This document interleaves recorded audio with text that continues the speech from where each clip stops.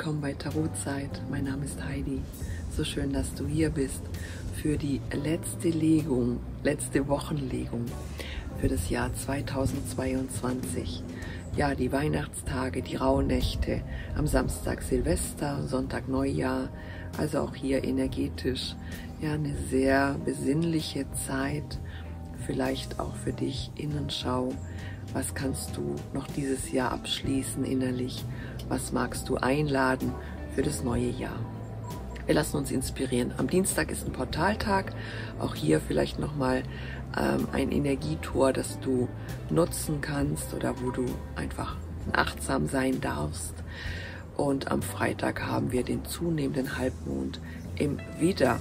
Und die, der Impuls hier finde ich sehr schön mit Step into your power. Also nimm dir, geh in deine Kraft, geh in deine Stärke, ähm, geh in deine eigene Macht, Selbstermächtigung, geh vorwärts. Ja, der Widder, das Feuerzeichen, das Element Feuer steht ja für Wille, Entscheidungskraft, Durchsetzungsvermögen oder ich mach's jetzt. Vielleicht ein Impuls ne, für den Beginn des neuen Jahres für dich. Wir nehmen dazu auch The Modern Witch Tarot, also diese modernen Hexenimpulse hier und lassen uns gerne doch inspirieren, nicht wahr? ja, ich wünsche dir natürlich eine tolle, tolle Zeit des Restjahres, schöne Silvesternacht und einen guten Start ins Jahr 2023. Schön, dass du hier bist. Schön, dass du mich begleitet hast. Alles Liebe für dich und deinen Weg und ich sage auf in diese neue Woche. Unsere letzte Woche im Jahr 2022 mit den letzten Impulsen möge das Jahr wundervoll zu Ende gehen, sodass das nächste Jahr genauso wundervoll beginnen darf. Ähm, wir nehmen auch gern den Impuls mit, wie ich auch schon als im Intro gesagt habe, für den First Quarter Moon in Aries, ähm, Step into your power.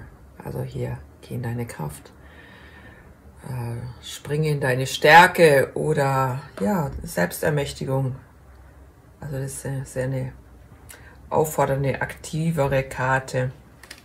Und wir gucken natürlich jetzt erstmal oder schauen, was die Karten sagen, wohin das Tarot uns hier begleitet. Was zeigt sich jetzt nochmal in dieser Woche ganz deutlich? Ja, da haben wir Silvester und auch die Weihnachtsfeiertage. Neujahr. Also intensiv, intensiv, intensiv. Oh wow, also wer ähm, den Solstice, die Kartenlegung gesehen hat, das zeigt sich, also ja, also das ist auf jeden Fall, ne? Du gehst weg, du verlässt die rauen Gewässer, es wird ruhig, du gehst ins ruhige Gewässer, du lässt es hinter dir. Ja, also entweder hast du hier die Möglichkeit, das zu tun, da gibt es vielleicht eine Chance, ein Tor, eine Option, oder du bist tatsächlich auf dem Weg, vielleicht auch erst im Inneren, in dem du planst oder dich entschieden hast, um das dann später eben so in die Tat umzusetzen, oder du bist tatsächlich schon raus. Ne? Herzlichen Glückwunsch. Also das war keine angenehme Sache, der du dich da stellen musstest.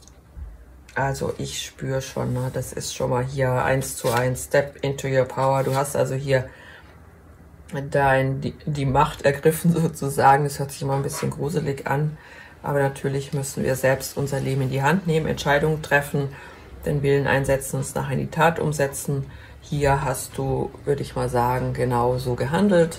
Du hast da deine Kraft gespürt, bist in deine Kraft hineingegangen und hier hast dich in dieses Boot symbolisch gesetzt, verlässt die alten, rauen, unschönen Gewässer und möchtest wirklich jetzt ein anderes Leben mit dieser Qualität der Ruhe, des Friedens, der Stille, vielleicht des Einklangs, der Liebe hast du gewählt und da ist sie. Was kannst du loslassen? Was lässt du zurück? Oder was, äh, ja, was entwickelt sich sowieso raus aus deinem Feld? Was geht? die Neunerstäbe. Das ist immer wieder spannend, ne? wie wir die hatten in der letzten Wochenlegung. Da sind sie nochmal. Da hatten wir sie im Ist, jetzt sind sie am Gehen. So soll es sein. Genau das ist die Magie der Karten. Das, was letzte Woche noch im Jetzt war oder ja, sich direkt gezeigt hat, ist jetzt am Gehen oder das kannst du auch loslassen, dieses Abgrenzen. Auch hier nochmal, sie ist auch hier ganz schön bandagiert. Die alten Verletzungen lässt du zurück. Ne? Klar, du machst dich ja auf dem Weg zum Neuen. Hier nochmal der Blick zurück. Die Entscheidung ist getroffen. Die Stäbe stehen auch für Willenskraft, Entscheidung, Transformation, Veränderung, aber auch Inspiration. Also auch da geführt werden.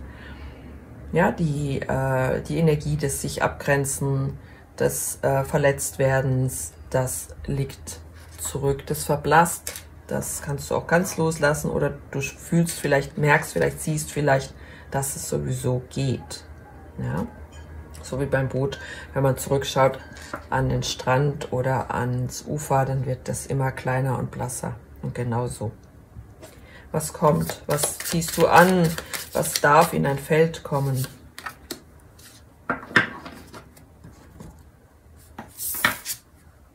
Sechs der Stäbe. Hello, hello, yeah. Ich sag nur, jawohl, genau so. Ach, freue mich. Ich freue mich so sehr. Sechster Stäbe steht für Sieg, Erfolg. Ja. Ähm, stolz sein auf das, was du geschafft und bewältigt hast. Deinen Weg gehen. Äh, dich feiern lassen. Das Alte liegt wirklich zurück.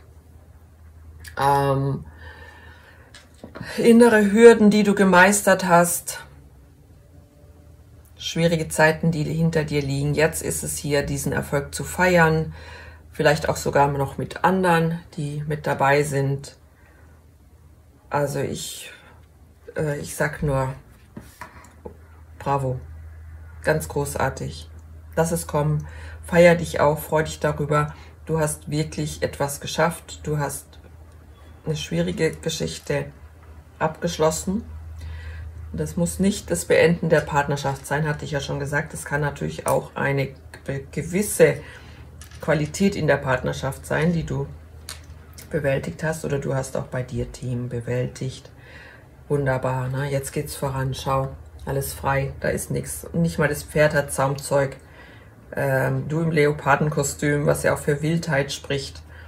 Äh, Stäbe stehen ja auch für Leidenschaft. Ne? Und alle Stäbe sind auch hier am Blühen. Ja, siehst du, Triumph, Triumph, Triumph, Triumph. Was wird dich unterstützen? Oder vielleicht gibt es ein Hindernis. Was wird dich da unterstützen? Uh, Achtung, Achtung, Achtung. Der Teufel, die erste große Arkana auf dem Tisch. Das würde ich sagen mal, da ist Vorsicht ähm, Vorsicht heißt die Karte auf jeden Fall. Dieses, ähm, dieser teuflische, also große Arkana, große Geheimnisse im Vergleich jetzt hier zu den kleinen Arkanas, wo man so sich durch das Leben jongliert, sind immer Eilensteine auf dem Seelenweg, tiefere, emotionalere, ähm, bewegendere Momente in unserem Leben. Und da könnte tatsächlich nochmal das Hindernis auftauchen, irgendeine alte Geschichte. Steht für zum Beispiel toxische Verbindungen auch. Ja, ähm, man kann sich da nicht raus befreien aus dieser Verbindung mit dem. Das ist wie teuflisch. Das steht wie unter so einer einem teuflischen Einfluss. Ähm, man ist gefesselt. Man dreht quasi immer wieder den gleichen Kreis. Ähm, steht für Anhaftung, vielleicht auch Süchte, was auch in der Liebe sein kann, ne? diese Liebessucht, nicht raus zu können, vielleicht aus einer Beziehung, aus einer toxischen Beziehung, das äh, ist genauso für die Partnerschaft gültig wie aber auch aus familiären Konstruktionen, aber das habe ich auch genau schon so in, ähm, Familie, äh, in Freundeskreisen oder auch im Arbeitsfeld erlebt. Ja, das ist manchmal richtig tricky und oft versteckt, ja, so dass das wie so ganz, das ist nicht so ein manchmal so ein richtig offensichtliches, schlimmes Ding, sondern das sind vielleicht eine Summe von lauter kleinen, wirklich richtig unangenehmen Sachen, ähm, wo, wo man nicht rauskommt. Also da zeigt sich definitiv ein Hindernis, das, ähm, das Beachtung braucht. Manchmal ist es auch so, dass wir, wenn wir da so schön hier auf unserem Weg sind, ne, könnte noch mal so eine Art Versuchung äh, sich zeigen. Das heißt, man sagt im, im spirituellen Kontext, das Universum prüft, ob du das wirklich willst und schickt dir vielleicht noch mal einen entsprechenden Menschen oder eine, eine entsprechende Situation, die, die sieht im, oben im Außen sehr vielleicht verlockend aus ähm, ist es aber nicht. Ja, das sagt zumindest die Karte, dass, oder zumindest gilt es, das zu prüfen, ob du wirklich diesen Weg in die Freiheit, in den Sieg, in die Freude gehen möchtest. Ja, und falls das für dich ganz klar ist und diese Situation oder dieser Mensch oder Mensch mehrere tauchen auf, denk dran, step into your power, geh in deine Kraft. Ja, du hast die Kapazitäten, dich daraus zu lösen. Ja, was ist dann verdeckt? Oh, nächste große Arkana. Das ist noch verdeckt im Unbewussten, aber es wirkt schon hier für dich. Der Magier, dieses ähm, ebenfalls, wie gesagt, große Arkana, große Chance auf einen Neubeginn oder sage ich mal etwas auf die Erde zu holen. Du hast alle Talente stehen dir zur Verfügung, alles steht dir zur Verfügung, sowohl die Inspiration, die Leidenschaft, die Ideen, als auch die Klarheit der Gedanken, das Bewusstsein, sowie dein, deine Freude daran, diesen Weg zu gehen oder mit einem Partner so zu leben. Kann sich genauso wie auf ein Projekt, das dich inspiriert, genauso handeln wie um, um eine Liebesbeziehung, die du gerne leben möchtest. Und du hast auch die, sagen wir mal, in der materiellen Welt die Möglichkeiten. Wie auch immer das jetzt bei dir aussieht. Also du könntest tatsächlich diese äh, Liebe, diese Beziehung genauso leben, dich nicht verführen lassen und auch nicht an diesen äh, nächsten äh, toxischen Punkt anzukommen, sondern du kannst es wirklich leben. Es ist da, ähm, der Magier bringt quasi diesen Wunsch, diese Sehnsucht, diesen Traum, diese Vision ins Leben. Du kannst es ins Leben rufen. Das ist noch unbewusst. Hier eine Möglichkeit, das genauso zu sehen und vielleicht entsprechend schon Wege einzuleiten. Oder es reicht auch schon mal am Anfang, das zu erkennen. Huh, sehr gut. Ich freue mich sehr. Das ist wirklich sehr großartig. Ja, sehr, ich finde das wirklich große Klasse. Wir fragen nochmal hier die Orakelkarten nach etwas äh, Unterstützung. Nehmen wir mal die. Und was wäre dann zu tun an diesem Wo an, in dieser Woche? Was gäbe es da zu beachten? Gibt es einen Impuls oder eine Qualität, die dich vielleicht jetzt hier nochmal inspiriert oder führt? Divine Timing, oh wow, das ist ein guter Impuls, ne? Das, diese göttliche Zeit. The Divine brings things in the timing that we need. Nothing comes before we are prepared, nor leaves too early. May I always trust your perfect and holy timing, dear Lord.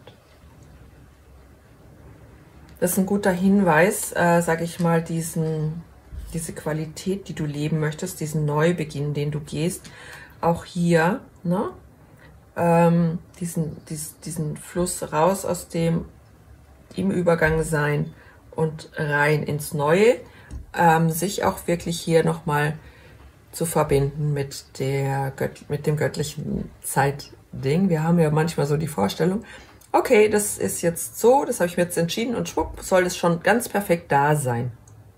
Manchmal ist ja auch vielleicht der neue Partner also auch weiblich, ne, die neue Partnerin, noch nicht da. Ähm, manchmal brauchen wir noch etwas ja, dazu, um dass der ins Feld kommen kann, der Mensch. Vielleicht dürfen wir noch was loslassen, erkennen, lernen äh, oder noch eine Erfahrung machen. Vertraue da immer dem Universum auch, dass das Timing immer das perfekte Timing sein wird. Ja, manchmal können wir das mit dem Verstand gar nicht so verstehen oder nachvollziehen. Manchmal will das Ego auch dass da ein bisschen was mehr passiert oder anders ist. Ja, da sind wir, aber der Verstand ist natürlich wie so eine kleine Schachtel und die Möglichkeiten, die wirklich da sein können, die sind unendlich. Und die passen gar nicht in die Schachtel. Vielleicht ist es das auch nochmal so ein Impuls, dass, dass wir da das eben zulassen. Manchmal gilt es auch da zu handeln, weil das Universum macht die Tür auf und dann bitte spring auch rein. Ne? Dann Nimm die Power, nimm die Kraft und geh, mach. Okay, ich hätte gern noch eine, wenn wir noch eine Guidance-Karte für die Woche. Ein Impuls ist doch viel, viel los in der Woche mit all diesen ja, Feiertagen und so weiter. Perseverance, die Ausdauer. I know that I can do whatever I set my mind to. Ja. Yeah. Ja, das ist alles, alles, wo du hin willst, alles, was du umsetzen willst, alles, was möglich ist, kannst du erreichen. Das bedeutet nicht, wenn da im Moment äh, eine Phase drin ist, der Stille, des Innehaltens oder was auch immer da kommt, dass manches nicht möglich ist. Ja? Sondern da Ausdauer heißt auch wirklich zu vertrauen, äh, lang, den langen Atem das große Ziel im Auge zu behalten und nicht hier auf die kurzen, verführerischen ähm, Möglichkeiten reinzuspringen. Also definitiv finde ich ganz klare Aussagen und ich nehme noch eine letzte Karte hinzu. Mal gucken, was hier nochmal an Impuls kommt für diese Woche hier. Blessings. Oh, schau mal, das ist wirklich dieses gesegnet sein. Ja, der Engel quasi Bild oder ja, wie vielleicht auch was wie die Mutter Maria oder so. Ich würde jetzt einmal sagen, du bist einfach gesegnet. Ne? Natürlich bist du gesegnet mit den Gaben und du bist gesegnet mit deiner Entscheidung, mit dem Weg, den du gehst, mit dem Sieg, der auf dich wartet und mit der Kraft, die in dir steckt, mit dem Willen, mit deiner Selbstermächtigung in deinen Raum, in dein Leben reinzuschreiten. Also ich finde das eine super gute Woche. Echt, da sind wirklich, ist alles ganz klar auf dem Tisch. Da gibt es nicht so, finde ich, gar nicht so viele Varianten, zumindest nicht, was ich wahrnehme, von dem, was sich hier zeigt. Und ich freue mich riesig, dass das jetzt sich ganz genau so zeigt. Ne? Sei auf dem Übergang, es ist so. Der Übergang bedeutet auch, es ist, das, das Ufer ist ja noch gar nicht da. Ja, das kommt. Du wirst aussteigen auf der anderen Seite im ruhigen Gewässer. Du wirst dich siegreich fühlen. Du fühlst, dass du was hinter dir gelassen hast, du überwunden hast. Klar, das kannst du loslassen. Dieses Abgrenzen, dieses Kämpfen, die Verletzungen, das ist Vergangenheit. Äh, aufpassen hier beim Teufel. Ja. Ähm, Ausdauer, ja, halte den Raum, halte die Vision. Und hier, es ist schon auf dem Weg, auch im Unbewussten noch unerkannt, noch nicht in deiner klaren, im klaren Bewusstsein, noch nicht im Fokus. Alles, was da in der Welt dir zur Verfügung steht, kannst du runterziehen und in die reelle Welt hineinbringen. Da ist auch nochmal hier die Affirmation dazu. Ich weiß, dass ich alles, was ich mir wünsche, was ich mir vorstelle, wo ich hin möchte, dass ich das auch erreiche. Und hier, dass dein Weg ist gesegnet. Ja, da kommt Unterstützung. Das können Menschen sein, das kann auch materielles sein, äh, Geld, ein Jobangebot, genauso wie eine Wohnung für eine schöne Partnerschaft oder der Mensch, den du dir wünschst, was auch immer. Da ist Segen hier für dich da. Möge diese letzte Woche in dem Jahr 2022 wirklich so großartig für dich sein, wie es hier in den Karten zu sehen ist mögest, mögest du das spüren und auch genauso leben dürfen und können. Äh, vertrau dir. Ich wünsche dir dafür nur das Aller, Allerbeste. Vielen, vielen Dank für alles und bis bald. Namaste.